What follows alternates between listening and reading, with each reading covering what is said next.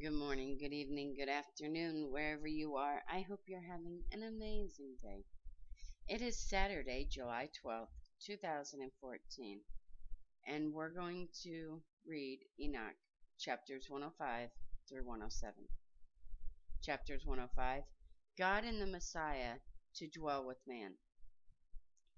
In those days the Lord bade them to summon and testify to the children of earth concerning their wisdom Show it unto them, for ye are their guides, and a recompense over the whole earth.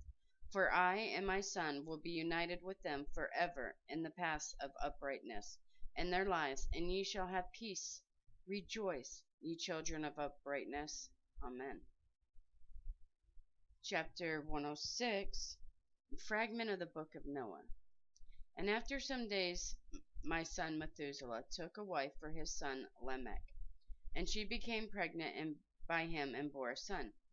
And his body was white as snow and red as the blooming of a rose. And the hair of his head and his long locks were white as wool, and his eyes beautiful. And when he opened his eyes, he lighted up the whole house like the sun, and the whole house was very bright. And thereupon he rose in the hands of the midwife, opened his mouth, and conversed with the Lord of righteousness. And his father Lamech was afraid of him and fled and came to his father Methuselah, and said unto him, I have begotten a strange son, diverse from and unlike men, and resembles and resembling the Son of God of heaven. And his nature is different, and he is not like us, and his eyes are as the rays of the sun, and his countenance is glorious. and it seemed to me that he is not sprung from me, but from the angels. And I fear that in his day a wonder may be wrought on the earth.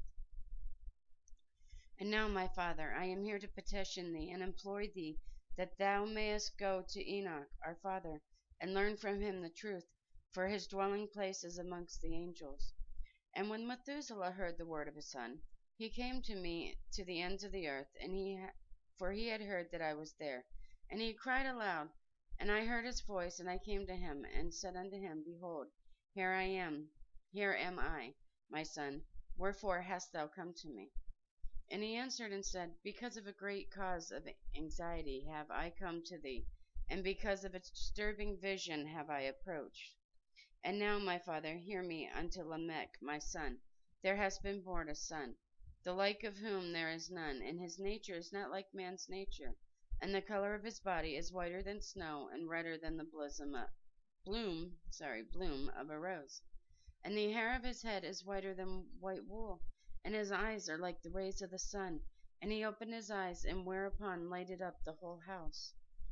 And he arose in the hands of the midwife, and opened his mouth, and blessed the Lord of heaven.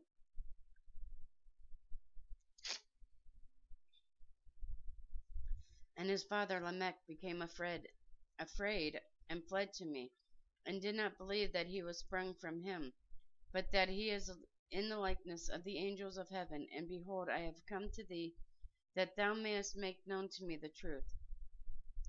And I, Enoch, answered and said unto him, The Lord will do a new thing on the earth, and this I have already seen in a vision, and made make known to thee that in the generation of my father Jared some of the angels of heaven transgressed the word of the Lord.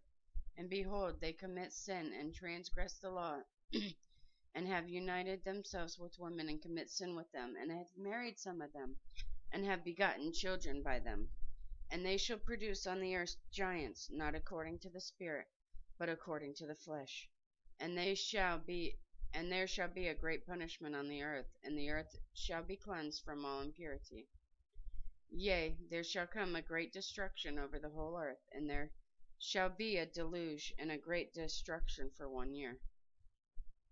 And this son, who has been born unto you, shall be left on the earth, and his three children shall be saved with him. When all mankind that are on earth shall die, he and his sons shall be saved. And now make known to thy son Lamech that he who has been born is in truth his son, and call his name Noah, for he shall be left to you, and he and his sons shall be saved from the destruction which shall come upon the earth on account of all the sin and all the unrighteousness which shall be consummated in the days on, on the earth in his days. After that there shall be still more unrighteousness than that which was first consummated on the earth. For I know the mysteries of the Holy One. For he, the Lord, has shown me and informed me, and I have read them in the heavenly tablets. Chapter 107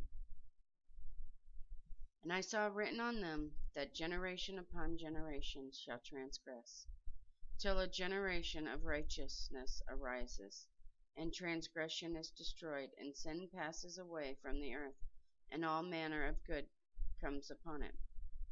And now, my son, go and make known to thy son Lamech that this son, which has been born, is in truth his son, and that this is no lie.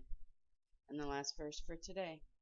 And when Methuselah had heard the words of his father Enoch, for he had shown to him everything in secret, he returned and shown them to him, and called the name of that son Noah, for he will comfort the earth after all the destruction. And that does conclude Enoch for today. Tomorrow is our last reading. I do hope you guys have enjoyed this. Peace be in you, my brothers and sisters. May the Lord have mercy on us all. I love you guys so very much. God bless.